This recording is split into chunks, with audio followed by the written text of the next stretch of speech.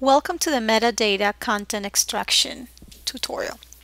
In dotCMS 2.0, whenever a new file is uploaded, we automatically extract its metadata and we save it in the content.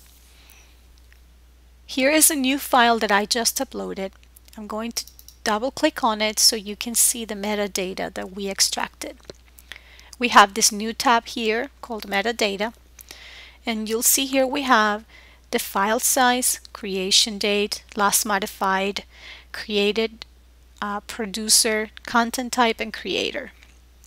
All of these fields are extracted from the document, so this creation date is the actual file's creation date in the file system and not in that dotCMS. Um, what we can also do, which is really important, is that you can now search within the document's content how we do that. If I go into content again, you'll see now that where we have the metadata now is a searchable field.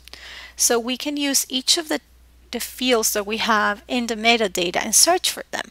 So one of them would be, for instance, the uh, document type. So that's called content type in metadata. And let's say I want to find the images. I just click image JPEG and I search and it shows me that. Or I could get all of the PDF files by doing that. So that's allowing me to search within the metadata.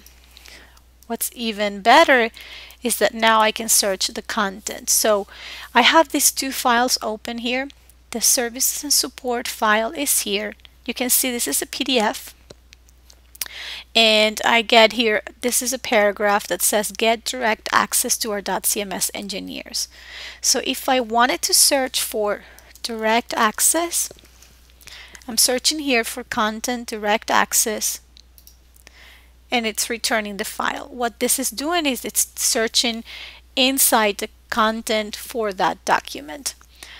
This is another feature that allows you to create a document management system in that dotCMS very easily if you click here and show query, you'll see how now this is here as part of our query. So that's all you're doing. We're just adding additional conditions to our query in Lucene for the search. For more helpful videos, visit our resources section on the dotCMS website. From all of us at dotCMS, thanks for watching.